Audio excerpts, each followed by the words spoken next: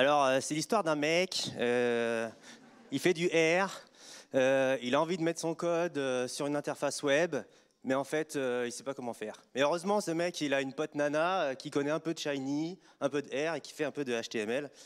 Et ils voudraient bien travailler tous les deux ensemble sur la même app pour avoir un truc en production hein, quand même qui marche. Donc moi je vais leur proposer de bosser avec Golem et avec Fusen. Alors quand on commence une application web, euh, Arthur vous le dira cet après-midi, euh, avant de faire les plans, avant de monter votre cuisine, vous faites d'abord les plans. Eh bien, on commence euh, aussi les plans.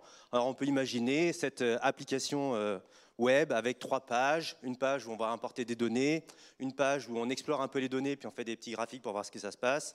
Et puis, comme vous l'aimez tous, la dernière page où on va exporter tout ça sous un format PDF pour pouvoir l'imprimer en papier, parce que finalement, le web, c'est pas cool. On préfère du papier.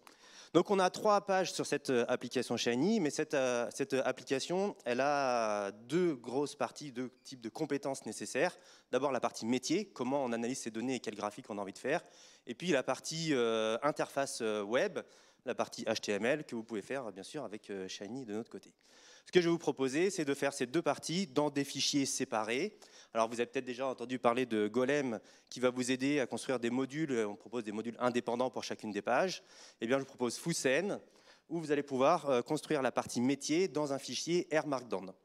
R Markdown, c'est accessible aux personnes qui font pas de Shiny, donc ça tombe bien. Euh, Le mec, euh, il est content, il va pouvoir faire ses, ses explorations R comme il a l'habitude, faire une petite partie où il va construire sa fonction pour faire le graphique. Mais comme on ne sait pas encore trop le graphique, s'il va être vertical, horizontal, en violet, en orange, eh bien, il propose dans son R Markdown de présenter tous les types de graphiques. Et puis comme ça, on peut les présenter aux différents utilisateurs plus tard pour savoir ce qu'ils veulent choisir. Ce serait un petit peu plus compliqué à réaliser si on devait faire quatre shiny différentes pour savoir si les utilisateurs ils préfèrent du orange ou du violet. Donc là, au moins dans le Markdown, on a un fichier qui est statique, qui est partageable et qu'on peut euh, peut envoyer avant de, de commencer à construire euh, le contenu. Alors quand on va faire du Fusen, on va aussi avoir cette structure qui est assez particulière, c'est un RMD un petit peu particulier dans lequel je vous propose de séparer la partie fonction de la partie exemple et d'une partie test, euh, test unitaire qui vous permettra une, maintenance plus euh, facile plus tard parce que euh, forcément quand on ajoute la page d'après, eh ben, on casse ce qu'on a fait sur la page d'avant. Donc au moins les tests unitaires sont là pour prévenir, pop, tu es en train de faire une grosse connerie là, tu vas me corriger d'abord ce truc et ensuite tu pourras voir si tu peux continuer ton application web. Et donc, on va avoir ces trois parties. Alors, pour ceux qui connaissent un petit peu les packages, vous commencez un petit peu à reconnaître ce qui va se passer.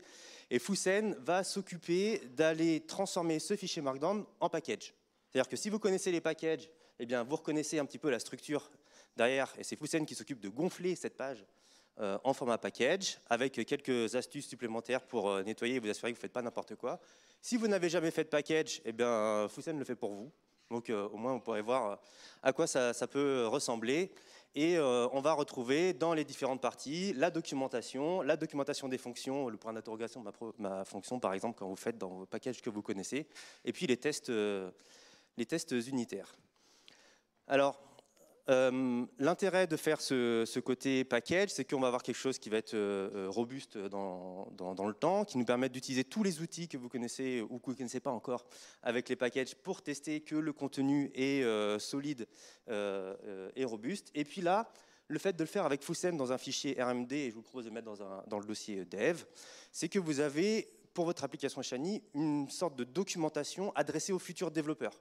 C'est-à-dire que vous pouvez écrire dans cette documentation bah, tout ce qui vous passe par la tête, pourquoi vous avez choisi telle ou telle euh, opération. Ce n'est pas forcément visible de l'utilisateur sur l'application Shiny, mais pour la maintenance plus tard, eh bien, vous avez un endroit et un seul où vous allez pouvoir voir dans chacun des fichiers euh, euh, flat, R Markdown, la documentation qui s'adresse aux futurs développeurs. Ça peut être vous dans six mois, et croyez-moi, six mois plus tard, on a oublié ce qu'on a fait avant. Bien sûr, ça se combine avec Golem. Donc euh, Golem euh, va vous aider à faire les modules dans euh, l'application et les modules vont se retrouver dans ce dossier R et les deux vont bien ensemble qui nous permettent de faire ces applications pour la prod. On peut imaginer faire cette partie métier dans un package totalement à part de la partie Golem, voire insérer entre deux un petit peu de Plumber API et vous verrez Antoine qui vous reparlera de Mario Box. Cette fois-ci, ce sera une présentation sans chanson, mais vous irez le voir cet après-midi et vous en saurez un petit peu plus. Merci.